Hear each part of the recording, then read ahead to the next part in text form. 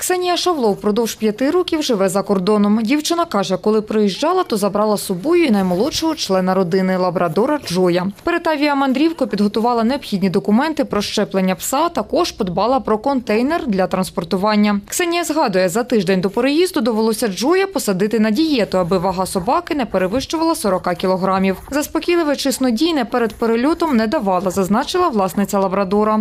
Я теж питала у багатьох е, власників собак, що дуже багато побічних ем, ефектів є від е, усіляких заспокійливих засобів. І ну, я вирішила, що не буду експериментувати.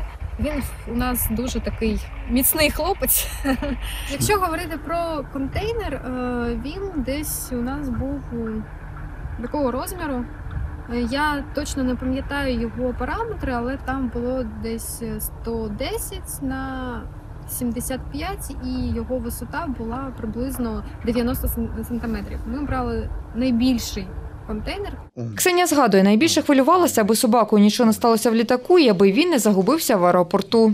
Я дуже хвилювалася е, летіти з ним літаком, тому що ми всі знаємо, що дуже багато є випадків, коли собаку чи е, кота забувають. ем, Доставити у багажне відділення, що з ними там щось трапляється. Дуже багато е, усіляких ж- жахітів можна начитатися в інтернеті.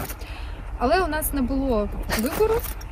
Перевести собаку якось треба було, тому ми летіли літаком. І коли я вже е, прилетіла до кінцевої до кінцевого пункту, можна так сказати, там в мене був певний стрес, тому що е, багаж весь віддали, собаки нема. Всі люди вже вийшли з аеропорту, а собаки немає. Я не можу дізнатися, де, де мій собака, моя собака. Ні, я чекала його ще хвилин 10.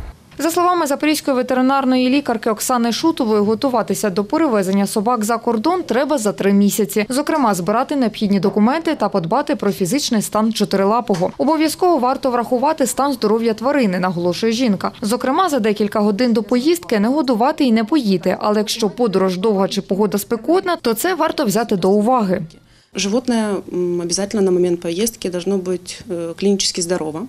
Тваринка на момент поїздки повинна бути клінічно здорова. Треба провакцинувати тварину від вірусних інфекцій і обов'язково від сказу. Тобто без цих щеплень тварину не випустять з країни. Також треба зробити всі профілактичні обробки, наприклад, від глистів у тварин і від бліг. Також перед вилітом чи виїздом за 2-3 дні краще давати тваринці заспокійливе і ще декілька днів після транспортування. Але це все залежить від характеру тварини, бо є ті, що добре переносять подорожі. Колоти снодійне собаці в подорож ми не рекомендуємо. Є, наприклад, різні препарати на основі феромонів, аби тваринка себе комфортніше почувала. І цього буде достатньо, але це все індивідуально. Жінка каже, що від початку цього року до приватної ветеринарної клініки, де вона працює, звернулося менше 5% запоріжців, власників тварин, які цікавилися підготовкою собаки до закордонної мандрівки. За словами менеджерки з туризму Катерини Сиваш, не всі закордонні готелі готові надавати можливість для розміщення чотирилапих. Лише 3% з них приймають туристів з тваринами, зазначає жінка.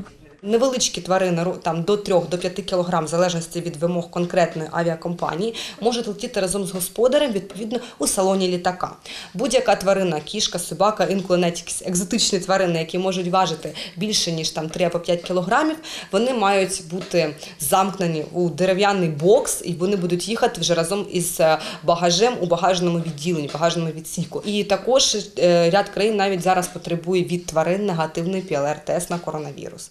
За словами Катерини Сиваш, здебільшого люди лишають своїх улюбленців родичам, друзям в готелях для тварин, якщо мова йде про відпочинок. Якщо ж приїжджають до іншої країни надовго, то забирають собою. В Запоріжжі є приватні готелі для собак, а також номери для тимчасового перетримання при приватних клініках. З початку року спеціалісти державних лікарень ветеринарної медицини головного управління Держпродспоживслужби в Запорізькій області видали 563 ветеринарних свідоцтва власникам тварин для переміщення їх за межі України. Маргарита Галіч, Андрій Варіонов. Новини на Суспільному. Запоріжжя.